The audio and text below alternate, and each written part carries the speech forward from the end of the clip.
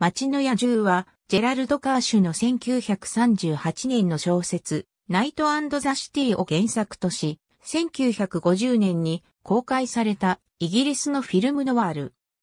1992年にナイトザ・シティとしてリメイクされた。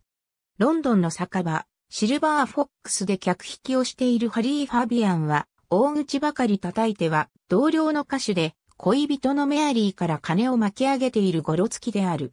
ある日、ハリーはいつも通りインチキな手口で客引きをしていると、ロンドンのプロレス興行を仕切っているクリストのジップで、かつての名プロレスラーグレゴリウスと出会う。巧みにグレゴリウスに取り入り気に入られたハリーは、一攫千金を狙って、プロレスの興行を計画し、シルバーフォックスの経営者であるフィルに出資するよう、頼みに行くが、一笑に付される。